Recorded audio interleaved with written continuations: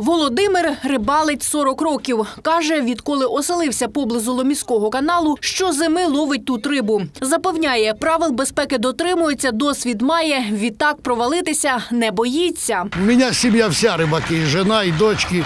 Но мне для меня летняя рыбалка – это не рыбалка. Вот когда зимой ты сидишь, кайфуешь возле этих лунок.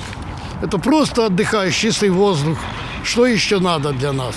Проте рятувальники стверджують, сьогодні останній день, коли на кризі безпечно. Завтра буде ще тепліше, тож вона скресатиме скоріше. Тому ДСНСники ходять водоймами Дніпра і попереджають рибалок про небезпеку. Заодно розповідають, як допомогти собі, якщо провалився в ополонку. Ви знаєте номер виклику служби порятунку? Це забив вже. 101, нагадуємо вам так. А, а знаєте, чи знаєте ви правила пересування, безпечного пересування по кризі? Конечно.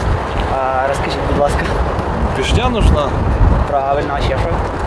Что еще? Веревка нужна. Правильно, у вас є. Веревки нет, пешли тоже нет. ДСНСники роздають рибалкам листівки та просять не ризикувати життям. Одні дослухаються, а дехто огризається. А что без пышни ходите? Вдруг промоем?